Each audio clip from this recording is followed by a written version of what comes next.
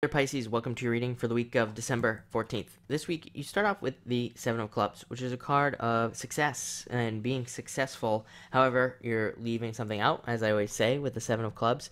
So, this card frequently asks you to also watch your health. So, if you are working really hard this week, make sure not to sacrifice your health or any fitness routines or anything that you're in uh, with this card.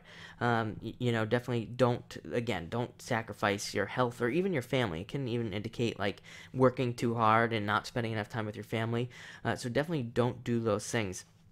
It's also a card of uh, having like being a little bit too negative, and I think at the beginning of this week, I think you know the past couple weeks have been very confusing for Pisces. I'm a Pisces. I you know even myself have had a, a bunch of confusing moments over the past couple weeks where I'm really not sure where I'm going, and all these other things that keep coming up. And I think for a lot of you that's probably true. Um, this card just says stay positive, keep things positive and things will move forward. Because you have the nine of spades next and again this is kind of like a card it, it, can be called illness so a lot of you you know stay healthy. Again that's a big message that comes up try to stay healthy this week don't get sick or anything along those lines. But the nine of spades is also a card of being a little bit closed-minded and needing to open up so it, it can be a card of like needing to open up to other ideas trying new things so anywhere you're stuck it, the card just comes in and says, hey, you, you know what? You might want to try something different uh, to, to move past it, especially if you're blocked. Like if you're, if you're not moving forward or you're confused, it just says, hey, just try something different and, and you'll be fine. Uh, but next you have the Queen of Diamonds, uh, who is a, you know, this is a great card. It's all about earning money. Um, and making money. I frequently say that, uh, you know, traditional readers call the King of Diamonds the CEO, but I, I always call her the CEO. She's a better um, boss and a better business person and better earning money because she use, she trusts her intuition. And the King of Diamonds doesn't do that. So, you know, definitely trust your intuition financially this week, uh, and you'll be able to make some good decisions and, and maybe even earn some extra money and things like that.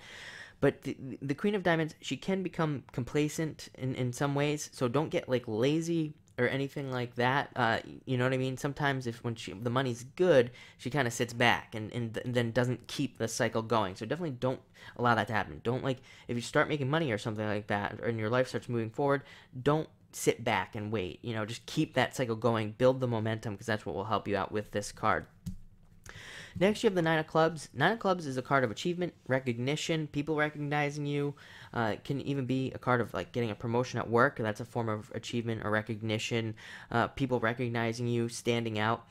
But I always say with this card, it's more important to try to stand out it's more important for you to try to like do things that make you stand out with this card. So definitely be looking for opportunities for ways for you to like step up and stand out and get noticed uh, with this card because that's what will help you the most this week is is creating opportunities. Again nines are action cards. You have to do something to make them happen. They're not you know every week and i'm not picking on anybody here but every week people write me and say oh you know this didn't happen and you said it was going to happen. And if you listen carefully on every single reading i do i tell people it's like you have to take the action. You can't just it, it, these things don't just materialize. I personally i blame the new age community and the secret for why people um, don't take action and things like that because they make it seem like that's what happens. But no it's totally unrealistic.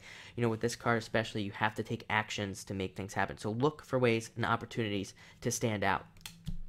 And you end with the Seven of Diamonds, old money fears coming up. You, you, know, just think more positively. Definitely a week where you want to be thinking positive. You want you don't want to have any negative thoughts this week or anything because, uh, you know, that'll definitely affect you. Just keep the thoughts positive. Seven of Diamonds, you could frequently have a ton of money in the bank and you're just pulling on old money fears um, that aren't true. So, you know, just don't uh, do that with this card. But all in all, looks like a great week, especially with that nine of clubs. You can make a lot happen with the nine of clubs, but like I said, you have to be the one to do it. So thank you for watching and enjoy the week.